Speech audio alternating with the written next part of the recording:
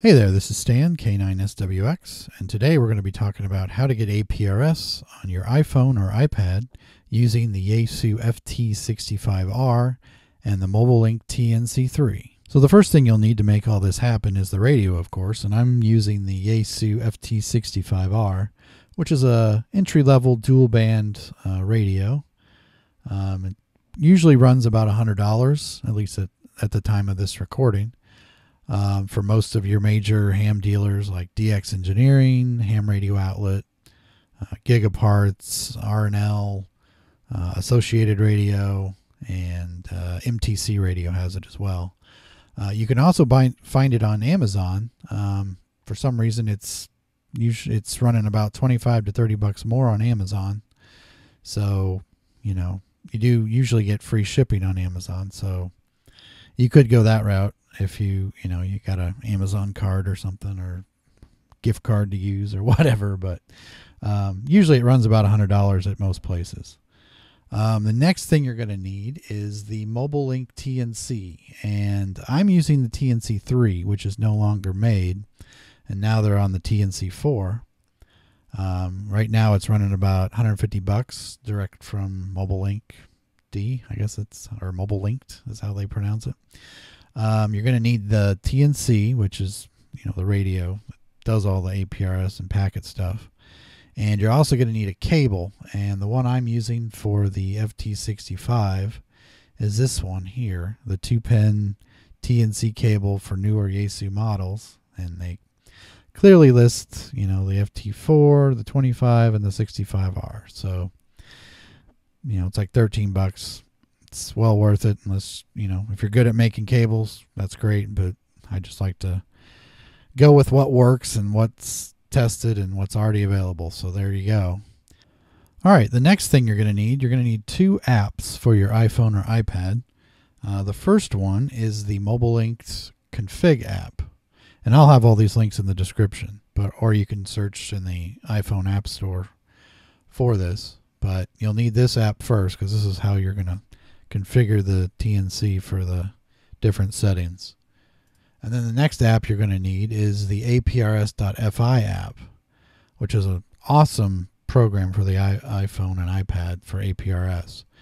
And it is compatible with the TNC3 and TNC4, as well as other um, specific uh, Bluetooth uh, TNCs. But you'll need those two apps and um, this the APRS one is six ninety nine. Um, plus, you'll need to purchase a subscription. Uh, let me see here. Um, it's you need the extra features. You can pay a dollar ninety nine a month, or you, I just pay by the year. You can either do the six forty nine, or um, if you really want to support the developer, you can do the thirteen forty nine a year, which is well worth it for uh, what you get if you're really into APRS. Okay, so let's set up the radio side first. So here's the FT65, and here on the right side is where you'll plug in the cable. That's the one with the two prongs. I'll plug that in there. Like so, and then on the TNC3 or 4, um, you're going to plug this one into that side. And there's that. All right, so we should have the APRS.FI app and the Mobile Link TNC config app.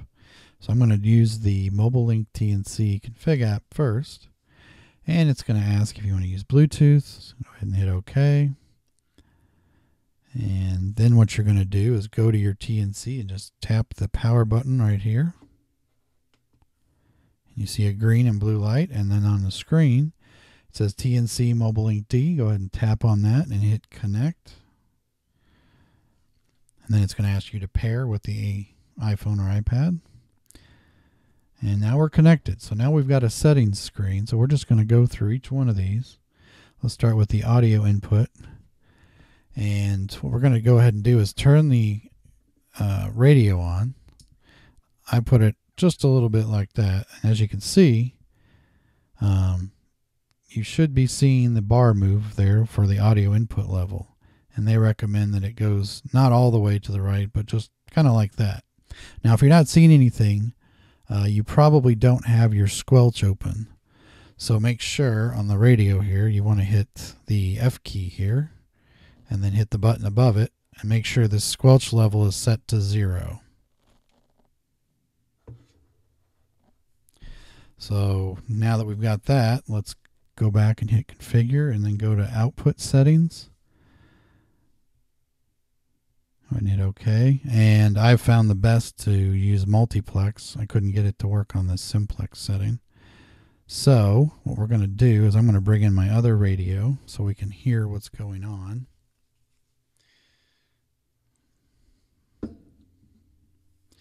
Because we're going to do a little test here. So I'm going to hit transmit on the 1200 hertz. Okay, you can see it's keyed up here. Let me move this a little bit. So that's working. We'll do the 2200. That works. And we'll do both. There you go. And you may need to fiddle with some of these settings, but I'm just going to leave them alone for now. All right, we'll go to the next screen, the power settings.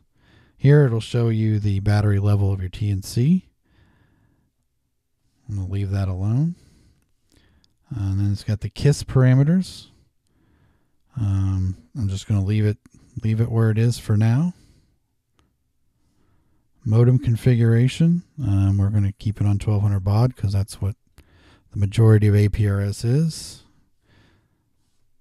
And then their TNC information just gives you your firmware, what version, um, serial number, all that stuff.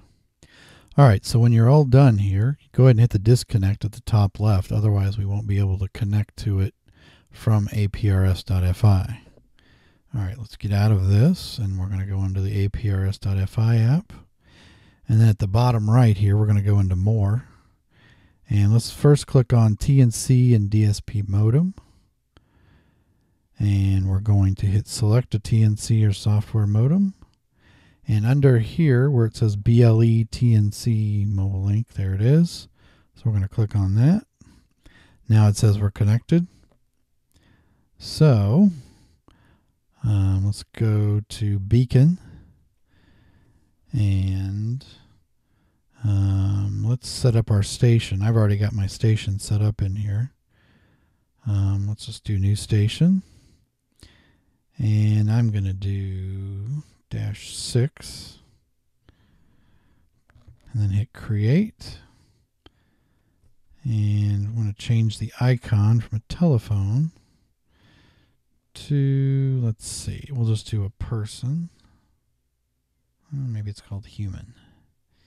Human. Okay. Oh, it didn't save. Let's try that again. Human. There we go.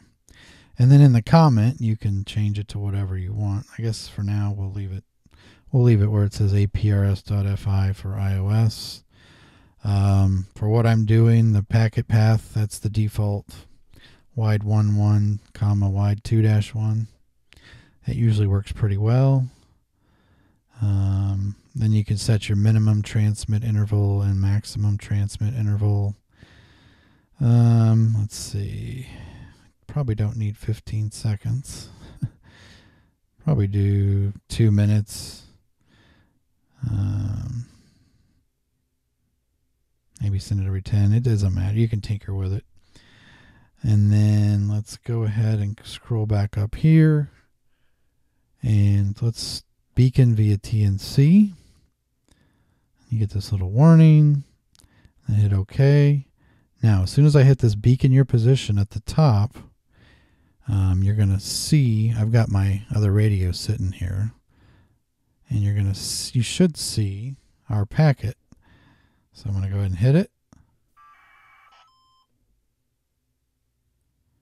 And there you go. So there's that.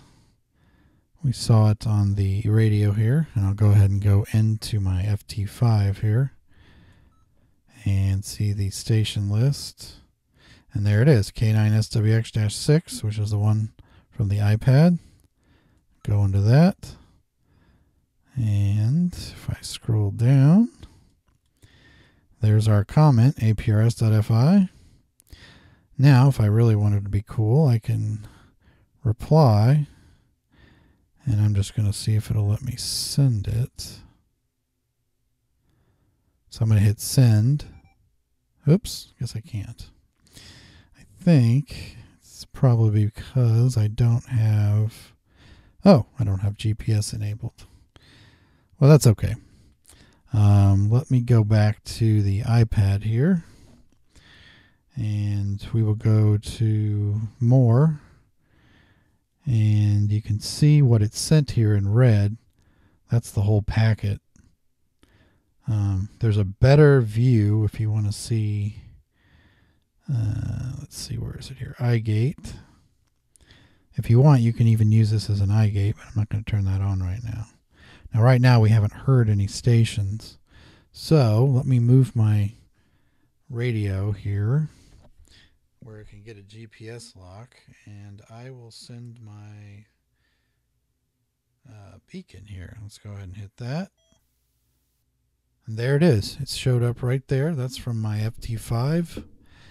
And you can see it shows up here on the stations heard. And there it gives me all my information. It's even at the bottom, FT5. Pretty cool. So there you go. There is APRS on an iPhone or an iPad using the FT65 and a MobileLink TNC3 or TNC4 if you have the new one. Uh, so what do you think? Uh, is that a pretty cool way to get on APRS um, using, uh, I guess you would say, the Apple ecosystem? um, sometimes it's not as easy using ham stuff on the Apple stuff, but there you go. Um, if you have any questions about this whole setup, you can put a comment in below and I'll do my best to help you out. If you enjoyed this video, please like and subscribe and make sure to ding my bell to be notified when I post new videos. Thanks again, and 73 from K9SWX.